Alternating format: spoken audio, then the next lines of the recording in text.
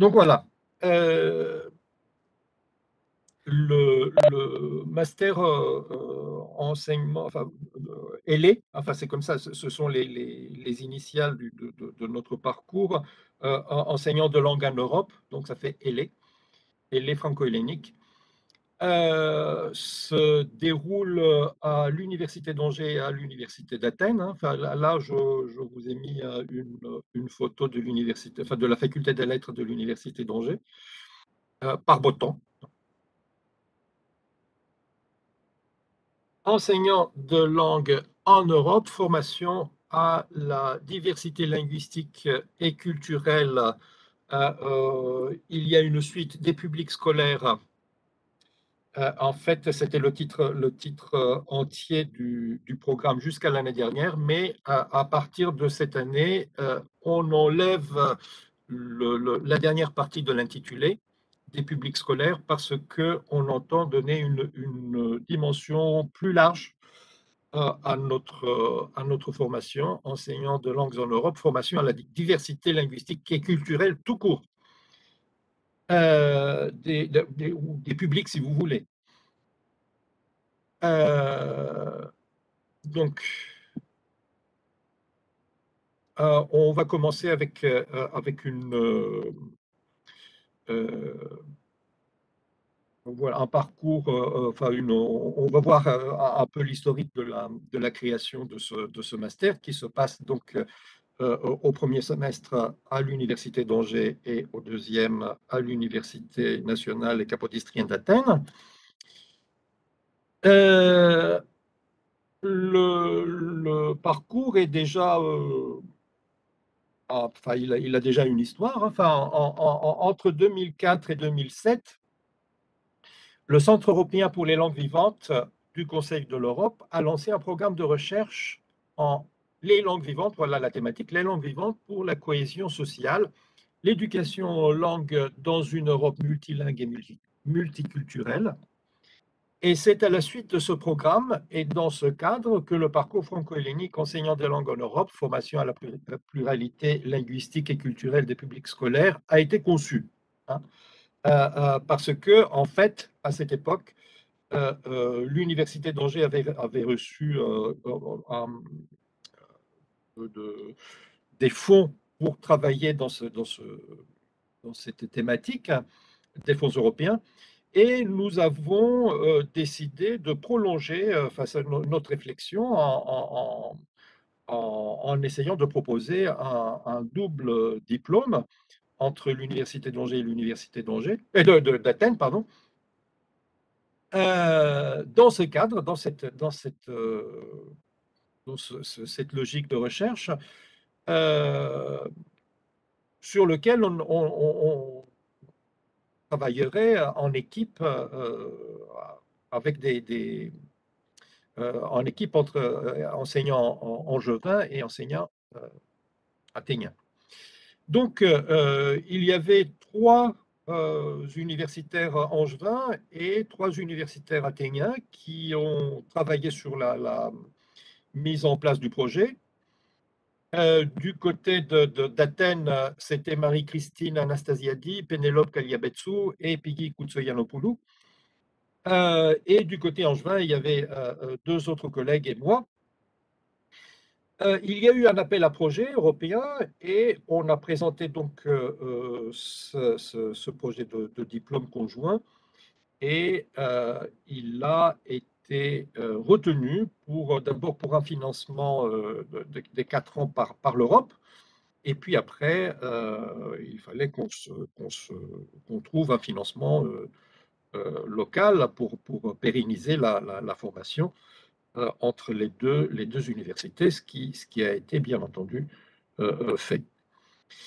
Euh, c'était, c'était euh, pour, encore un petit peu d'histoire, hein, c'était, c'était euh, comme, vous pouvez le constater, le diplôme, enfin le, parcours a, commencé juste au moment de la crise financière grecque hein, et qui a, qui a en fait empêché son ouverture dès la première année. mais il a, il a fonctionné de manière un peu clandestine la première année, sans, sans, la, signature de, la ministre grecque. Euh, mais la, deuxième année, bon, elle, a, a fini, la ministre a fini par signer euh, le, décret et euh, l'accord. Et nous fonctionnons donc de manière officielle depuis plus de dix ans. Euh, et, c'est un, programme qui fonctionne, donc c'est un programme international qui fonctionne euh, euh, bien, hein. si bien que nous avons des étudiants, pas seulement grecs et français, pas seulement des, étudiants issus de l'université d'Athènes et de l'université d'Angers, mais des étudiants enfin, qui viennent du monde entier maintenant. Euh, bah, il y a eu, une, majeure de promo euh, chinoise il y a, il y a 4 ou 5 ans. Euh, et puis cette année, nous avons, une, italienne qui sera probablement la majeure de, promo. qui, n'est, enfin, c'est ça pour vous dire que, c'est un, master qui recrute à l'international donc, euh, c'est un master sélectif et, euh, euh, apprécié sur, un plan international. Alors, ah, passons aux choses un peu plus concrètes hein, concernant la formation. Euh, le master est, conçu comme un, master d'enseignement à l'international. Hein. Euh, il, concerne des enseignants et futurs enseignants de langue qui souhaitent être formés à la diversité culturelle et linguistique qui caractérise aujourd'hui les publics scolaires européens. Il repose sur la conviction que apprendre à enseigner et devenir un bon enseignant constitue un processus continu qui dure toute une vie. Les systèmes euh, éducatifs européens reposent pour la plupart euh, sur, sur des traditions monolingues. Hein. C'est le cas euh, de l'éducation en France, hein, pas en Grèce. Toutefois, au cours des 30 dernières années, dans le cadre des mouvements migratoires, l'Europe a vu affluer un nombre important d'élèves issus de l'immigration hein, intra- ou extra-européenne. Et cela est de plus en plus vrai les, vagues euh, migratoires enfin, continuent, euh, euh, se, confirment, et les déplacements des, populations en Europe est quelque chose qui, devient tellement vrai que, certains le trouvent même préoccupant. ce, qui est, ce qui est bien entendu à tort ce qui a résulté euh, à, des profonds donc, euh, changements. L'un d'entre eux est le nouveau visage du public scolaire, sa diversité culturelle et linguistique. Euh, je pense que certaines d'entre vous, certaines, certains d'entre vous l'ont constaté. Si vous avez fait un, stage dans une école à, Athènes, vous, vous, avez constaté, ou peut-être par votre propre expérience en tant qu'élève, vous avez constaté que euh, le public d'aujourd'hui euh, n'a rien, le public scolaire d'aujourd'hui n'a rien à voir avec euh, celui d'il y a, il y a, il y a 10 ou 15 ans, enfin même 20 ans. La, présence des, des, de, de, la pluralité culturelle et linguistique devient de plus en plus affirmée. Euh, et enfin bon, je, vous donne enfin l'anecdote, une anecdote suivante. Enfin ça, euh, évidemment, euh, j'appartiens à une génération, enfin bien, bien, beaucoup plus ancienne. Mais, mais quand je suis arrivé en tant qu'étudiant à Paris il y a 40 ans, 50 ans, enfin 40 ans, 50 ans, je ne sais plus combien, je, n'avais jamais vu de ma vie hein, d'asiatique. De, Pourtant, je, vivais à Athènes. Et c'était, c'était, c'était, euh, c'était Athènes à cette époque-là, enfin, était une ville où on ne voyait que des Athéniens ou presque, ou des, gens, enfin, euh, euh, qui, étaient issus, enfin, qui, étaient issus d'une, tradition unique, eh bien culturelle, je veux dire. eh bien, ce n'est plus du tout le cas aujourd'hui. Hein. Enfin, quand on, quand on, on va dans une école athénienne, ou pas seulement, le, public n'est pas, pas, pas uniforme, hein. il, est, il, est, il est pluriel. Donc, c'est, pour, pour, se rendre, enfin, pour, pour tenir compte de cette pluralité culturelle et linguistique des publics, euh, euh, qu'on a conçu cette, cette, euh, cette formation, hein, qui répond donc à, une réalité très concrète que plusieurs, plusieurs élèves apprennent hein, une langue à l'école, hein, alors qu'ils parlent une autre langue à la maison. Donc, euh, euh, euh, à, cette, dualité linguistique, enfin la langue de l'école et la langue de la maison, la langue de scolarisation et, la langue maternelle, viennent s'ajouter les langues qu'on appelle deuxième ou troisième, que l'on apprend aussi à l'école via la langue de scolarisation. Euh, c'est un apprentissage qui, euh, est, nécessaire, euh, aussi bien en France qu'en Grèce, je, veux dire l'apprentissage d'une deuxième langue, que ce soit l'anglais, que ce soit l'allemand, que ce soit l'espagnol, que ce soit le chinois, que ce soit le, coréen, enfin tout ce que vous voulez. Cette, langue, jusqu'à présent, hein, elle, elle, est, enseignée à partir des concepts euh, euh, euh, de, la langue de scolarisation. La, pluralité culturelle et linguistique des, élèves n'est presque jamais hein, prise en compte. Donc, c'est pour se sensibiliser à cette, à cette nouvelle réalité et à des systèmes d'enseignement qui tiennent compte de la pluralité euh, linguistique et culturelle des, élèves que nous avons conçu cette euh, formation en, master. Donc, c'est à ce besoin donc, que, que, répond ce master en une formation qui sensibilise donc les acteurs du monde éducatif à cette diversité culturelle et linguistique des publics scolaires. Euh, donc, pour ce faire, on, a, euh, enfin, vous, on vous propose euh, une formation double euh, dans deux villes qui, qui, sont, qui sont intéressantes, pour ne pas dire passionnantes, Angers et, Athènes. Athènes, vous connaissez bien entendu. Angers, vous ne connaissez pas. C'est une ville ravissante sur, sur la vallée de la Loire un, des, coins les plus, les plus beaux de France. Enfin, on appelle, on appelle, on l'appelle, on appelle la, vallée de la Loire euh, euh, les jardins de France. Euh, c'est très vert, très fleuri et, et parsemé des châteaux.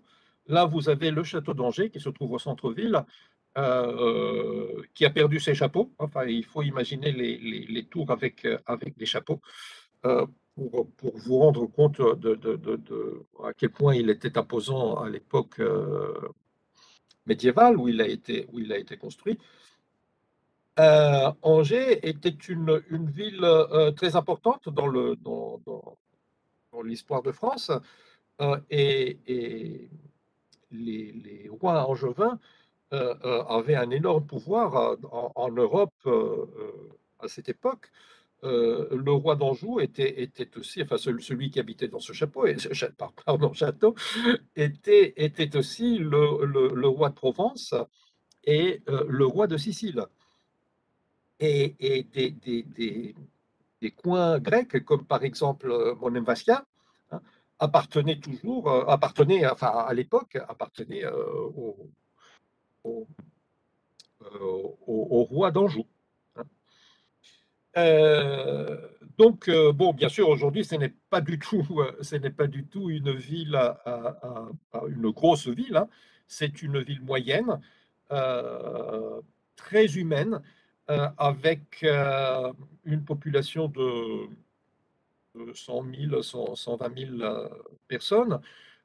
mais sur cette, dans, cette population, il faut, il faut ajouter 30 000 étudiants, ce qui est quand même considérable.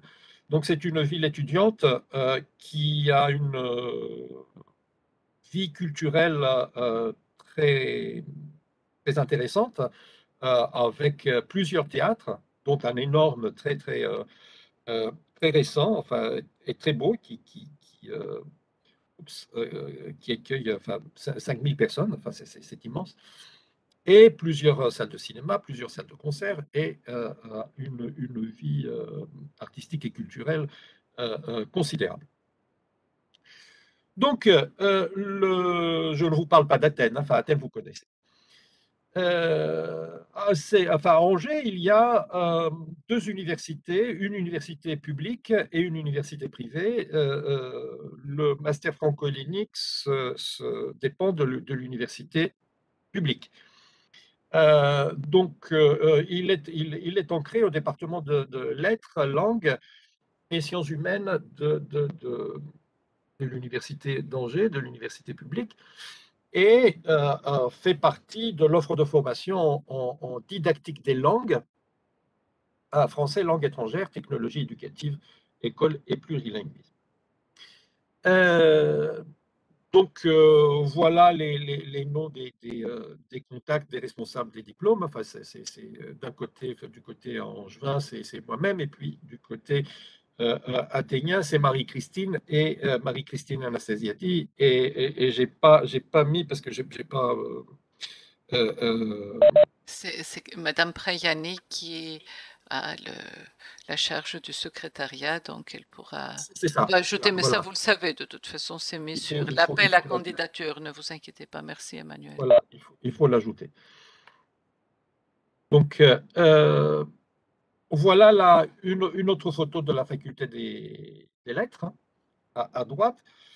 Euh, la formation en cours à, trois langues, enfin on utilise trois langues de formation, le français, l'anglais et le grec.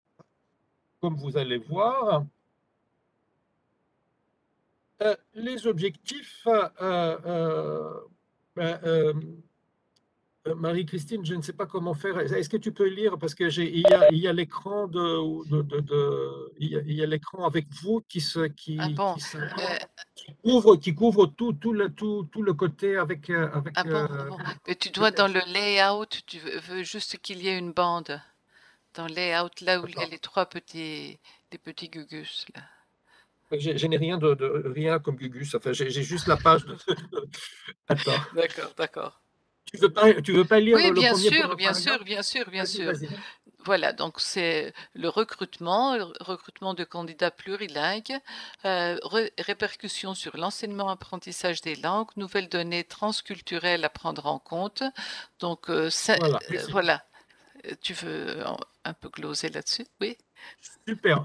enfin, donc c'est ça, c'est que euh, euh, du fait que nous recrutons un, public plurilingue et pluriculturel, euh, donne à cette formation un caractère très spécifique parce que vous, vous êtes formé non seulement par, le contenu de la formation, mais aussi par la composition du groupe qui, dont, dont, vous faites partie. parce que euh, vous, vous, apprenez euh, euh, les uns par les autres. Et ça, c'est ça, c'est ça, c'est vraiment précieux. Et c'est peut-être le, le, le, le, côté le plus précieux de, de la formation. Hein. bien entendu, on vous donne tout ce qu'on peut en tant qu'enseignant et on a, on a euh, conçu le programme de manière à ce que ce, soit, que, que, ce programme soit extrêmement utile et, concret pour ce que vous ferez par la suite euh, quand vous serez enseignant. Mais euh, ce que vous aurez appris par vos collègues, notamment comment travailler avec quelqu'un qui n'a pas eu la même éducation que vous, qui n'a pas les mêmes principes de vie que vous, qui n'a pas les mêmes pas forcément exactement les mêmes valeurs que vous, euh, ou qu'il entend ces valeurs de manière euh, nuancée, enfin un petit peu, un petit peu différente que, que, vous. Eh bien, tout ça est, est, est, est, très utile pour voir comment on peut euh, euh, travailler avec les autres, progresser avec les autres, comprendre les autres et se faire comprendre par les autres. C'est vraiment essentiel. Oui, juste une, petite chose à ajouter. Euh, non seulement, merci beaucoup, c'est vraiment, c'est comme si c'était un stage pratique. Vous faites de l'interculturel théorique et pratique, et même vous êtes confronté à un autre système universitaire, à d'autres mentalités. Nous aussi, en tant qu'enseignant, on apprend beaucoup. Depuis dix ans, on apprend. Il y a toujours des, choses qui surgissent qui sont aussi le résultat d'autres façons de voir. Donc ça, c'est très, très important. Excusez-moi, Emmanuel, mais c'est vrai que c'est... Non, non, non, mais je t'en prie, c'est passionnant ce que tu dis, absolument.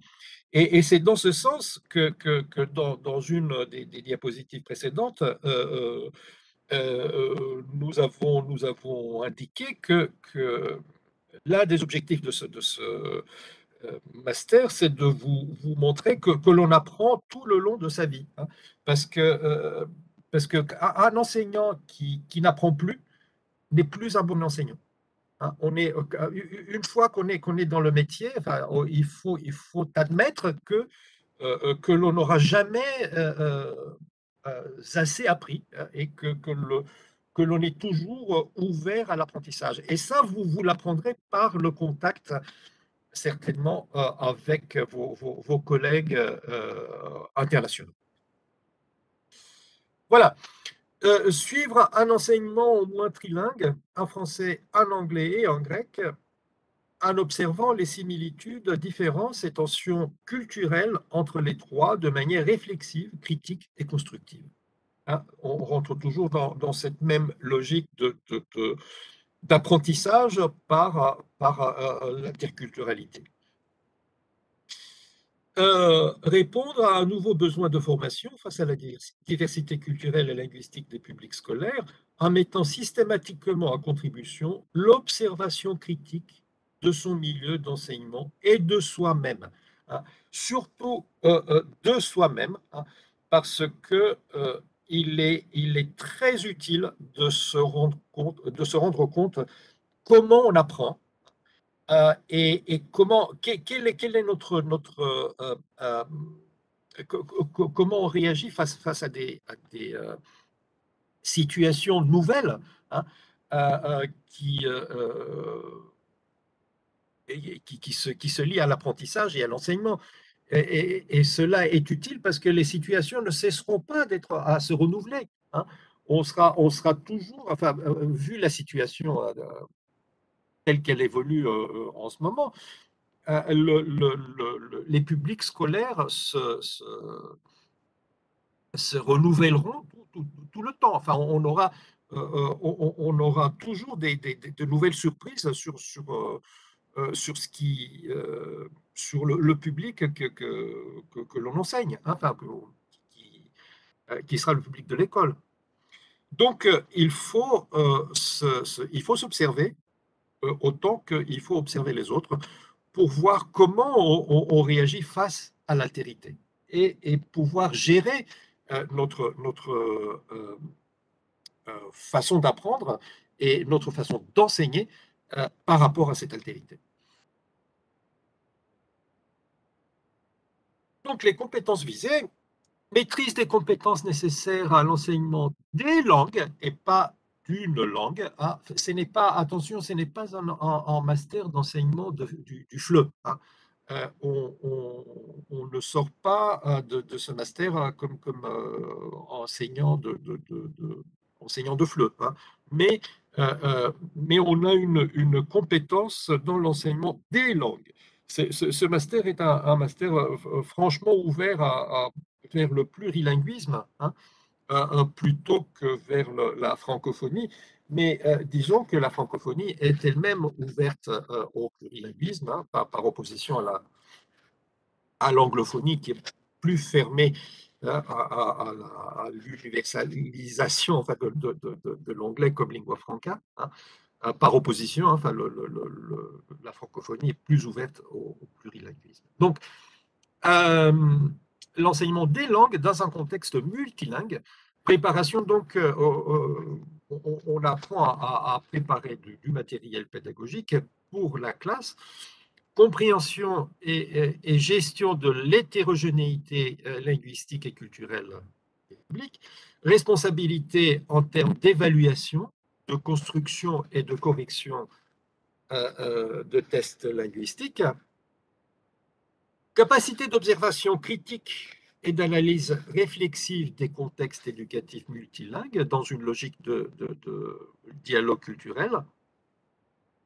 Capacité à impulser des enseignements fondés sur le plurilinguisme et les approches, et les approches plurielles des langues et des cultures. À partir de cette année, d'ailleurs, on a, créé un, cours euh, euh, de, créativité enfin, euh, plurilingue, enfin, vous, aurez une, c'est une option où, le numérique, l'interculturel, le, le, plurilinguisme seront mis en, œuvre par le biais d'activités de, créativité.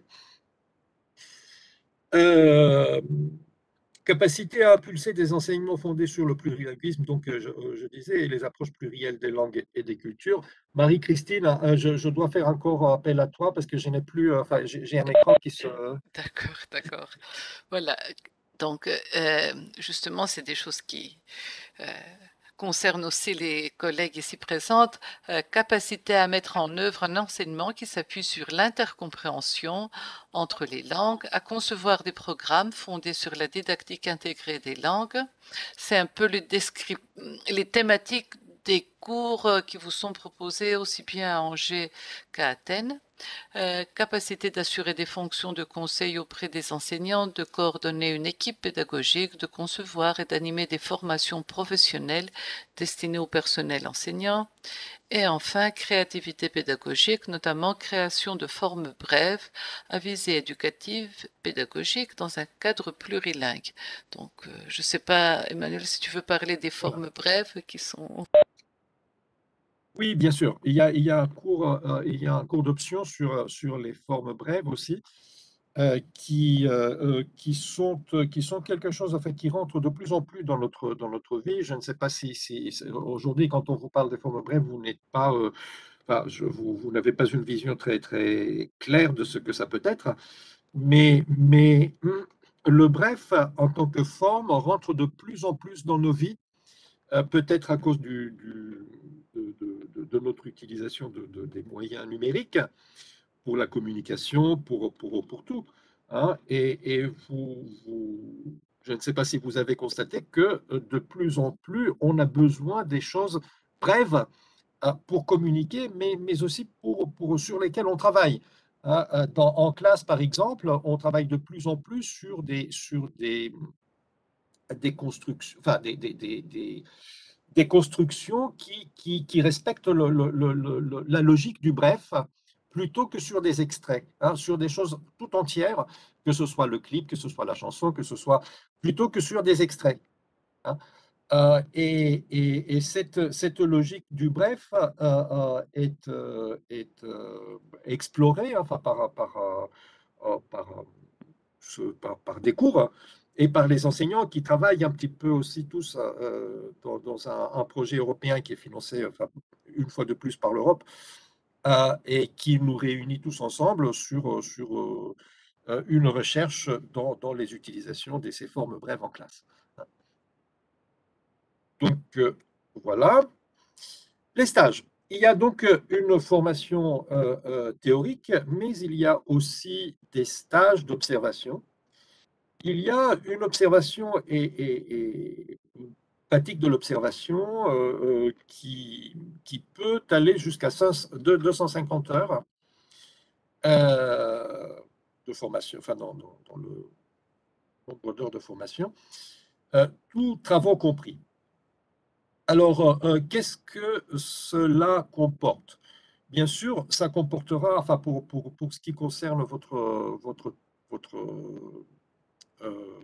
formation à Athènes, ça, comportera surtout des, stages à, des écoles euh, primaires ou secondaires, ou des, lycées ou des collèges, ou peut-être à l'université. mais pour, pour, pour, pour Angers, cela comporte un, stage au, CELF. Le CELF, c'est le Centre d'enseignement de, de, langue française pour, pour les étrangers. et, et, là, vous êtes, vous êtes pris par, par une équipe d'enseignants de, du, du, français qui vous forme, qui vous forme à, excusez-moi, c'est mon chat qui, qui, qui me Euh, qui vous forme à, à, donner des cours à des étudiants, surtout, de, de enfin, surtout des étudiants d'origine asiatique. Euh, et il vous propose euh, plusieurs types de, de, de, formation par projet. Hein. Euh, et puis, euh, vous aurez, euh, il vous confie un groupe hein, pour, pour travailler sur un projet avec eux. Ça, c'est un stage, mais qui est intégré dans vos cours. un autre stage qui est intégré dans vos cours et qui constitue en fait la, le cœur même enfin, de, de cette formation, c'est l'enseignement du grec. Euh, vous aurez à enseigner le grec à un groupe d'étudiants de Master 1 euh, en collaboration avec des étudiants euh, non hellénophones de Master 2 et qui, pour la plupart d'entre eux, ou du moins un certain nombre d'entre eux, auront fait le, leur Master 1 à Angers. Euh, alors, ah, comment, comment, est-ce possible d'enseigner euh, une langue lorsqu'on ne la parle pas pour, pour les étudiants euh, francophones qui participent à cet enseignement? Et qui, qui, enseignent le grec et qui enseigneront le grec en même temps que vous aux étudiants de, du Master 1 Eh bien, c'est que, euh, comme vous allez le constater, je ne sais pas si vous avez déjà essayé d'enseigner votre propre langue euh, à, quelqu'un, mais ce n'est pas du tout évident hein, euh, d'enseigner sa langue lorsqu'on n'en a pas l'expérience. pourquoi? Parce que tout d'abord, on a envie que les autres parlent sa propre langue tout de suite. Et, on a tendance à vouloir trop faire. Euh, et on ne se rend pas compte que notre volonté et notre enthousiasme euh, euh, peuvent souvent, pour ne pas dire systématiquement, refroidir les apprenants. alors, c'est à cela, à cela que les, les, collègues français vous seront utiles, hein, parce que euh, pour, pour chaque heure de cours dispensée aux étudiants du, Master 1, les étudiants du Master 2, avec euh, les Grecs et les Français, et, les internationaux, passent une heure, hein, pour chaque, chaque heure d'enseignement, on passe une heure de préparation. Euh, de manière à ce que l'on se, que l'on soit assuré que ce qu'on propose sera bien reçu par, par, les, par, les, par les apprenants. Et, et euh, euh, les, les, élèves non francophones euh, sont là pour, pour, pour que l'on puisse mesurer la, somme enfin, de, connaissances et de savoir que nous pourrons engager chaque, chaque, chaque séance dans, notre enseignement. Euh, de plus, ils ont une expérience euh, très pratique, très concrète euh, de, l'enseignement des langues en, termes de cadrage. et, parce que, voilà, l'une des, différences de, ou une particularité, disons, de la, de la formation en France, c'est le cadrage. Ah, euh, euh, en, France, on est très, attentifs à, ce que, à, ce que, à ce que les choses rentrent dans des plans et dans, dans, des, dans, un moule qui, qui, qui, permet, qui facilite en fait, qui facilite le, le, la concrétisation du, cours. Donc, les questions de, de, faire entrer un, un, domaine de savoir, enfin un domaine d'enseignement, euh, dans un cadre structurel, ne serait-ce que dans, dans, un cadre de, temporel. Hein, euh, on, prendra par exemple un quart d'heure ou 20 minutes pour faire ceci ou faire cela. Hein. Ça, c'est quelque chose qui nous dépasse, hein, enfin en Grèce on, est, peut être excellent dans, beaucoup de choses, mais euh, pour euh, la gestion du temps, là, c'est un peu, compliqué. donc, ne serait-ce que pour ça, là, c'est la, première chose qui, va vous frapper, c'est que les étudiants français vont vous cadrer sur, sur ce qui concerne le, cadrage temporel des séquences. Euh, et vous aideront euh, euh, à les concevoir. Mais ce n'est pas seulement sur ce plan où, c'est utile, où la collaboration entre français et, internationaux et grecs est utile. C'est surtout dans, dans, le, les échanges qui peuvent avoir lieu en tant que, collègues. Hein. Vous allez voir que ce n'est pas facile de travailler avec des personnes qui n'ont pas la même conception que vous de, l'enseignement, euh, de la façon dont on enseigne, euh, de, des principes qu'il faut euh, viser quand on enseigne, et surtout de la façon de faire. Hein. Parce que ce que l'on pratique dans, ce, cours de langue, le cours de grec, c'est surtout la, méthode actionnelle et euh, euh, qui, qui, évite à tout prix hein, le, système d'enseignement frontal. Hein. Euh, donner une règle et, attendre que les étudiants l'apprennent, enfin ça, ça c'est exclu. En leur donnant des exercices par exemple, enfin de, pratique, ça c'est, ce n'est pas du tout, mais du tout la façon de faire dans, cette, dans ce contexte. il faut partir toujours de, de, ce que les élèves, les étudiants connaissent pour aller euh, vers, vers des choses nouvelles, euh, à chaque fois euh, renouvelées. Enfin. Et, et, ça, c'est assez difficile à, concevoir. C'est pour cela qu'il faut passer beaucoup de temps à la préparation du cours, d'un cours qui, qui est dispensé entièrement par vous.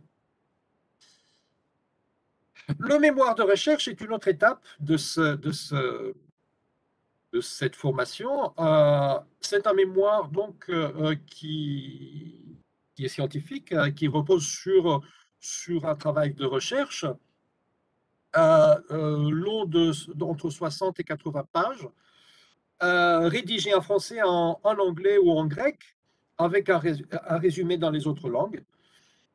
il implique la collecte et le traitement de données, selon une méthodologie appropriée, abordée au cours euh, de l'UE démarche de, recherche qualitative en didactique des langues culture en, au semestre 4, qui, vous sera dispensé par euh, Marina Virou. Euh, euh, Marie-Christine, c'est encore le même, le même projet, problème, excuse-moi. Ça, C'est parfait. Alors, euh, c'est un mémoire donc, qui a un côté théorique, il y a une bibliographie. Vous, quand vous serez au premier semestre, essayez de profiter de votre présence à proximité de la BU Angers, mais également au deuxième semestre, vous aurez la possibilité d'aller à notre bibliothèque qui, euh, qui vous aidera énormément. Donc, c'est euh, il y a un enseignant qui va vous aider, qui va vous diriger un peu vos recherches euh, et vous aurez aussi un avant-projet bon, et vous allez voir, le mémoire, on en parlera, mais simplement pour savoir que vous aurez à rédiger un texte, euh, une recherche scientifique, et que vous allez ensuite euh, présenter, soutenir oralement devant un jury mixte, un jury des deux universités en général, la soutenance est en octobre. Vous avez aussi la possibilité de le présenter au mois de juillet, mais jusqu'à présent, dans les, ça fait combien de temps que ce master existe? 12 ans. On a eu 12 ans, on a eu juste deux étudiants qui ont réussi à tout faire au mois de juillet l'an dernier. Je pense que la pandémie était aussi euh, le fait qu'ils ne soient pas en Grèce, ça les était davantage. Donc voilà. Mais euh je pense que cette année, on aura aussi quelques, quelques-uns qui. Mmh, c'est pas sûr, c'est pas sûr, c'est pas sûr. La Grèce est un pays qui dissipe nos apprenants. Voilà. Oh là là là là. Ah c'est terrible. Allez. terrible. Voilà. Donc, euh, voilà, ça, je ne sais ah, pas si c'est euh, ah oui, voilà, oui, oui, non, non, c'est important aussi la compensation, ça aussi c'est culturel. Euh, voyons un peu, parlons de cette compensation, parce que ça aussi c'est. En fait, en France, il y a un système de compensation entre les, entre les, les, matières enseignées. Si vous avez, par exemple, euh, au, au, semestre 3, hein, si vous avez, c'est-à-dire au premier semestre, au semestre en Au semestre d'hiver. Oui, le semestre d'hiver. Si vous avez une note de 9 et une note de 11, euh, euh, vous n'avez pas à repasser la matière euh, à laquelle vous avez 9 parce que la note de 11 compense. Ça veut dire que la moyenne entre le 11 et le 9 étant de, supérieure à 10, vous, réussissez votre semestre malgré euh, le fait que dans une matière, vous avez une note en dessous de 10. Hein. Ce qui n'est pas le cas euh, du semestre 4 parce que la compensation ne fonctionne pas dans le système grec. Donc voilà. Euh, donc, le, calendrier des échéances, enfin ça, c'est, ça c'est, ce sont les échéances de l'année dernière. Euh, euh, le calendrier pour l'année prochaine n'est pas encore établi, mais euh, vous l'aurez en début d'année. Et ça, c'est les, les matières proposées dans, notre maquette.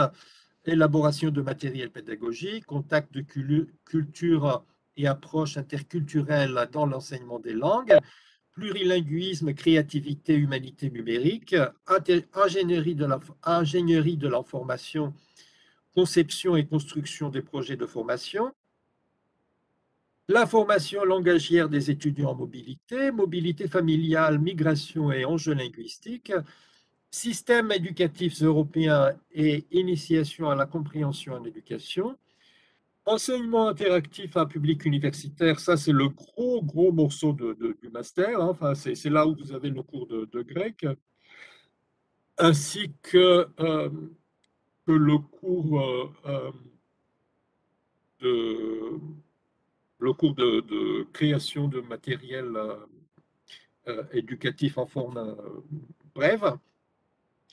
Théorie et culture d'apprentissage pour les langues, langues euh, qui est un cours euh, obligatoire pour les étudiants euh, qui n'ont pas fait un Master 1 de FLE, hein, et 34 heures de stage. Donc voilà la même chose en, couleur. Hein. je le passe un peu rapidement. Et, oui, oui, oui, merci beaucoup. Pour Athènes, de toute façon, là, vous avez une petite vision, mais comme vous allez choisir ces cours optionnels une fois quand au mois de décembre, donc on aura d'ici là la possibilité de représenter ces cours, d'en parler, vous verrez ça avec les enseignants. Là, ça vous donne simplement un petit panorama des contenus de ce semestre. Donc, euh, Mais il y a un cours de Canelina, je crois, qui s'est ajouté. Je, je ne sais pas s'il est là pour les non, il n'est pas le, cours de Canelina, il n'est pas là. Attends, euh, je vais te le donner, on va le, on va le, mettre. Canelina, est-ce que tu nous, dis l'intitulé de ton cours, si tu as la gentillesse oui, bien sûr, c'est euh, enseignement des langues à un public migrant. C'est ça, oui. Il y a aussi le cours de Canelina qui n'est pas, qui n'est pas mentionné. Voilà, avec mes excuses. Je vous en prie.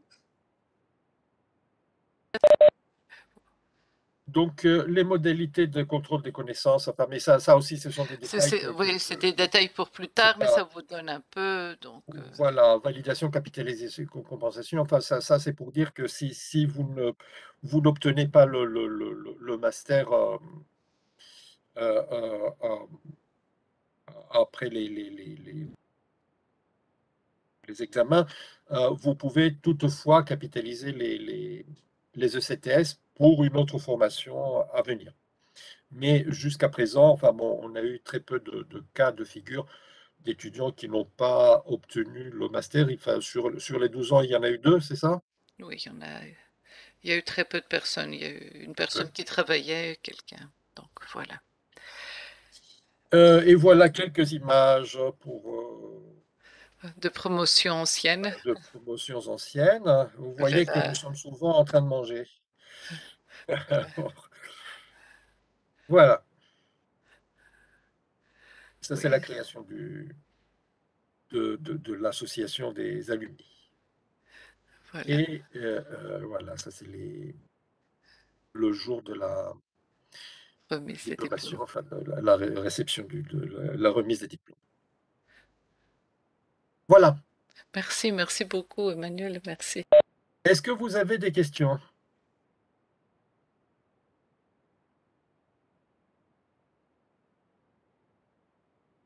Je vais venir.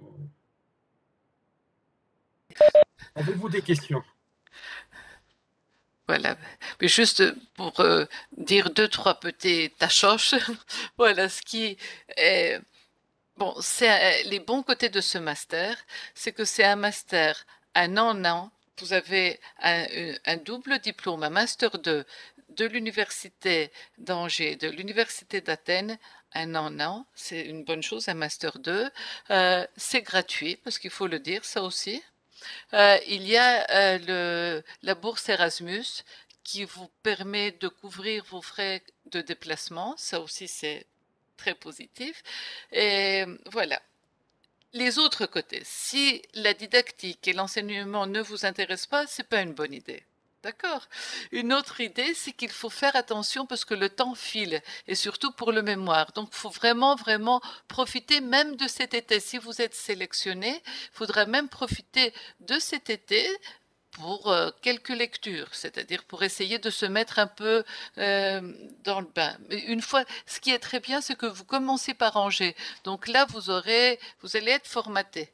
il y aura le temps, comme euh, a dit M. Vernadakis, il y a, bon, c'est très bien cadré. Donc, et le but du jeu, c'est d'essayer de garder les bonnes habitudes euh, à la rentrée, parce que chasser le naturel, il revient au galop. Il faut essayer de bien, euh, de continuer sur votre lancée, sur vos lectures. Euh, ça, c'est très, très important. Voilà, je ne sais pas si Madame Moustaki, qui est avec nous dans cette aventure depuis la nuit des temps, mmh. si elle veut ajouter quelque chose. Euh, merci. Euh, c'est avec plaisir que j'ai euh, écouté cette présentation. Hein. C'est quelque chose que l'on vit à chaque année hein, avec nos étudiants. je voudrais vous assurer de mon côté que c'est un master qui est qui n'est pas difficile, qui est très intéressant, euh, qui vous encadre, comme ceci a déjà été noté par M. Bernadakis, euh, qui vous donne la possibilité euh, de vivre le plurilinguisme et différents systèmes éducatif, au fait, euh, le système grec que vous connaissez, le système français, mais aussi euh, le système éducatif qui a forgé les autres étudiants qui vont être à ce parcours à vos côtés. je ne sais pas si vous avez déjà parlé avec des personnes qui ont déjà eu leur master chez nous.